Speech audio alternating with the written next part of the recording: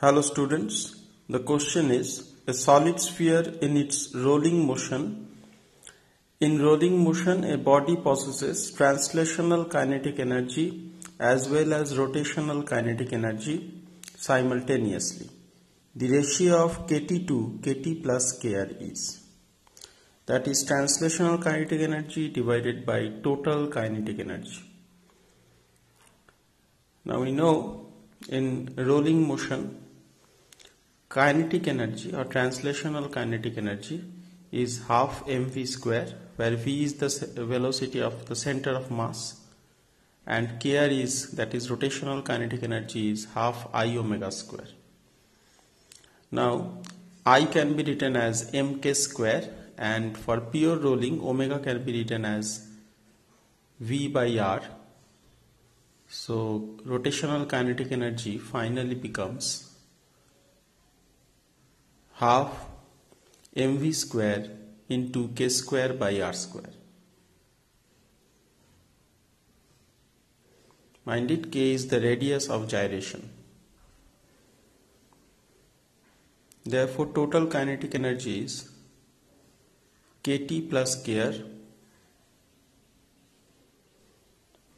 taking half mv square common.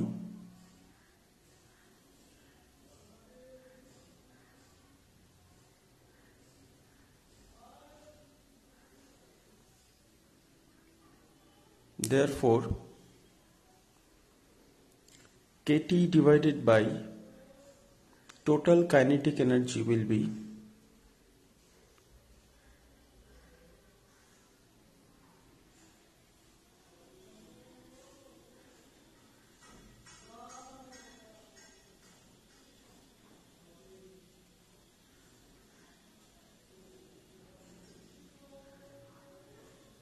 will be r square divided by r square plus k square.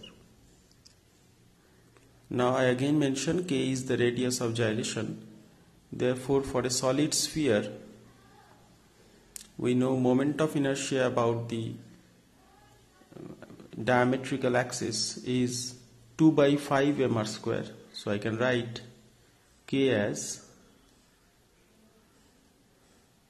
root over or k square as 2 by 5 r square. Now putting this value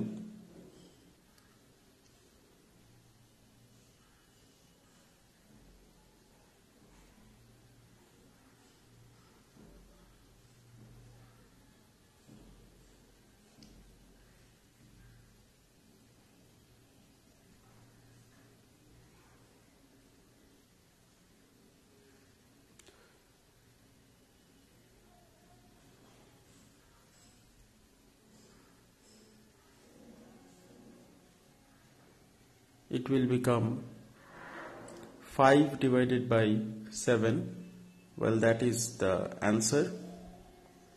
Option 2 is correct. Thank you for watching this video